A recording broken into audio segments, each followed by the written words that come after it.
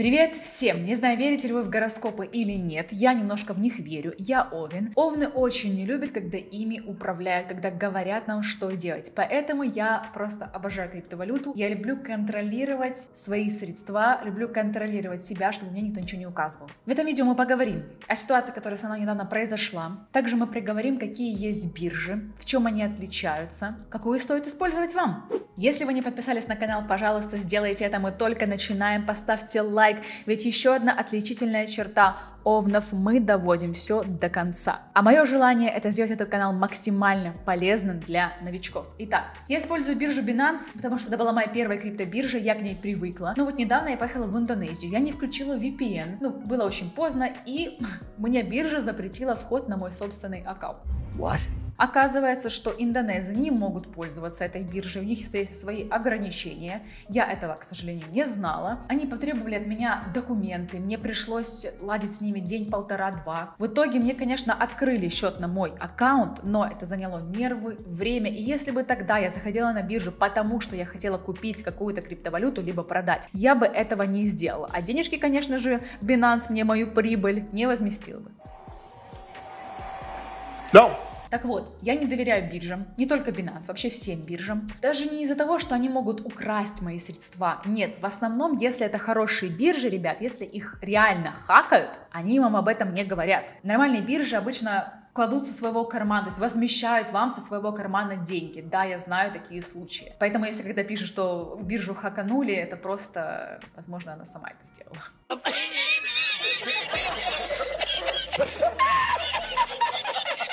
Самое забавное, что очень много людей мне в последнее время жаловалось на Binance, говорила убегать оттуда, потому что оно становится все регулирование и регулирование, то есть оно уже не похоже на само слово криптовалюта, где все должно быть свободно, открыто, то есть без каких-либо запретов. Но знаете, наше человеческое вот это упорство, которое такое со мной такого не случится, либо там, ну да, попозже я это сделаю, в общем, принесло мне урок, поэтому не допускайте этого, если вы не желаете, чтобы с вами произошло аналогичное.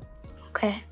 Также я не люблю биржи из-за QIC. QIC это знай своего клиента, то есть верификация личности, потому что именно как раз из-за верификации личности с вами могут произойти разные случаи, да, там вот, допустим, пользователь России, если у них QIC стоит, все, биржа видит, что ты россиянин, даже если ты там вообще не живешь всю свою жизнь, да, там, точнее, долгий период времени, все, ты теперь там не можешь выводить средства свыше 10 тысяч евро. Shit. То есть верификация это такая вроде бы как бы для вашей безопасности, да, там, чтобы вы можете восстановить аккаунт, ну, а вроде бы очень много в них таких плохих аспектов есть. Биржи бывают централизованные и децентрализованные. Централизованные биржи — это площадка для обмена криптовалютой, которая управляется из единого центра. Вся ваша безопасность, обслуживание, обменные операции — это все лежит на плечах у биржи. В этом слове они похожи такого на банки. Централизованные биржи есть Binance, Coinbase, FTX, OKX, Gate, Kraken и так далее. Преимущество бирж – возможность работы с фиатом. То есть ты можешь купить криптовалюту сразу же, там доллар, э, биткоин, либо там доллар USDT. Это очень удобно. Ликвидность. На цексах, это централизованная биржа, она в основном очень большая, поэтому ты можешь в любой момент продать большое количество криптовалюты без особого изменения цены и быстро. Да, если маленькая ликвидность, ты этого сделать не сможешь. Там либо будет очень медленно покупаться или продаваться какая-то определенная монета, либо там ты не сможешь продать на какую-то большую сумму. То есть если на DeFi рынке ликвидность почему маленькая? Потому что там сразу же обмен от покупателя к продавцу, там нет посредника. То на бирже, а, биржа использует маркетмейкеров, во-первых, там очень много, там намного больше людей, то есть она постоянно создает ликвидность, постоянно спрос, продажа, там покупка, очень все это быстро происходит. На мой взгляд, централизованные биржи очень подходят для новичков. Why? Потому что это такой своего рода мостик из мира фиата в мир криптовалюты, там, где там все очень подробно, там все понятно, там очень много функционала. Вот, очень подходит для новичку, чтобы начинать. Окей. Okay. Недостатки. У вас нет приватных ключей. То есть у вас есть только логин и пароль к вашему аккаунту, где изображены циферки, да, но у вас нет доступа к кошелькам. Доступ к кошелькам есть только у биржи. I'm sorry. Риск безопасности. В любой момент могут ограничить вам доступ, да, там запрет на вывод, ввод, чего угодно. либо там вы не подошли там к QIC, страна не подошла. Часто требуется верификация личности. Есть биржи, в которых такого нет. Мы о них поговорим. И они, в основном централизованные биржи, они часто попадают под влияние правительства. То есть какое-либо изменение, санкции, все. Централизованная биржа, если она особенно достигла большого такого уровня, она подвергается этому. То есть она обязана слушаться правительства, иначе правительство запретит ей существование в данной стране. Yes, we can. Децентрализованные финансы, в простонародье DEX, у нее нет центрального органа управления. То есть она напрямую сводит покупателя и продавца, которые размещают заказы на покупку или продажу токена. Аналоги Uniswap, PancakeSwap, OneInch, SushiSwap и так далее. Преимущество – анонимность при обмене. То есть тут нет QIC, и ты не знаешь, кому принадлежит этот кошелек. I don't know. Приватные ключи находятся у владельца, потому что вы всего лишь всего лишь человек. Подключаетесь к этой бирже через свой кошелек. То есть вам не нужно регистрироваться, у вас нет ни паролей, ни логинов, ты заходишь на сайт, законнектишь кошелек, подключаешь свой кошелек, и все, ты можешь осуществлять продажу, покупку. Как только ты это сделал, ты отключаешь свой кошелек, все, ты уже не на бирже. Все просто. Окей. Okay. Возможность быстрого добавления монеты. Что это означает? В основном большинство монет вначале выходят на DEX, на децентрализованных биржах, и только потом они уже переходят на CEX. То есть это означает, что вы можете найти хорошие проекты, которых еще нет на CEX, потому что в основном они начинают с DEX. Никто не может заблокировать ваш аккаунт, да? Потому что у вас нет аккаунта, вы всего лишь подключаете кошелек для сделки. И опять же, вы торгуете со своего кошелька, подключая кошелек, поэтому вам ничего никто запретить не может. Недостатки. Недостатки это ограниченный набор функций. I'm sorry.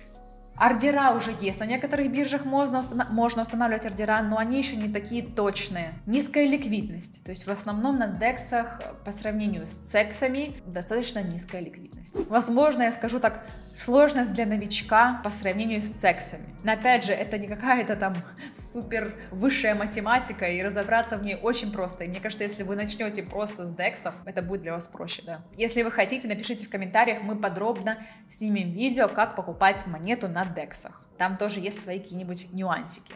Отдельным пунктом хочу выделить плюс и минус, как бы так скажем, декса. Плюсы, да, это то, что там может быть любая монета, то есть в основном большинство монет потенциальных хороших проектов выходит на децентрализованной бирже. Но также минус, что из-за этого любой человек может создать там свою монету.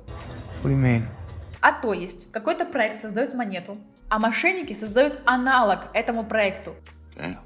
Потому что вы можете создать одинаковое имя, даже все соцсети сделать под эту монету, да. И новичок, не посмотрев на смарт-контракт, на адрес монеты, может купить как раз монету мошенника. Потому что он вбил название, ему показалась эта монета, он ее купил, а оказалось, что он купил монету мошенника. Такое бывает. Вот, на централизованных биржах такого нет, потому что там только одна монета, если это, как нам, не знаю, Ethereum, там только один Ethereum, потому что, чтобы листиться на цексах, нужны определенные условия, вот так скажем. Поэтому, еще раз акцентирую, если вы используете DEX, проверяйте адрес смарт-контракта, адрес, вот так он выглядит, сейчас вверху покажем, Проверяйте. Начало, конец. Как оно выглядит. В большинстве случаев, как бывает, вы заходите в группу какого-то проекта, да, это уже может быть группа официальная, но там есть уже мошенники. Ты там спрашиваешь, ой, скиньте, пожалуйста, смарт-контракт, потому что покупка токена осуществляется по смарт-контракту, то есть ты вводишь смарт-контракт и покупаешь. Мы с вами в следующих роликах купим монетку. Окей. Okay. И тебе мошенник может скинуть совершенно другой адрес. И ты, используя этот адрес, купишь монету, купишь монету мошенника. Хочу сказать, что DEX это не какой-то тоже безопасный оазис, да, из-за того, что там нет QIC. Все-таки у DEX тоже есть свои создатели, и могут быть тоже какие-то регулирования со, со временем. Конечно же, я надеюсь, что в DEX будет меньше регулирования, потому что децентрализованные финансы, его весь смысл как раз вот в этом, чтобы не было какого-то одного регулированного органа. Мое мнение такое, что если бы у DEX можно было выставлять качественные ордера, и чтобы все ордера срабатывали, была большая ликвидность, то люди бы не использовали централизованные биржи. Поэтому я уверена, что в будущем будут такие биржи. Мы расскажем вам, кстати, в следующих роликах. Расскажу, какая биржа уже осуществляет вот такие вот смарт-решения. Надеюсь, что они там еще подкрутят, и это будет работать на все сто процентов. И тогда, возможно, нам понадобятся сексы.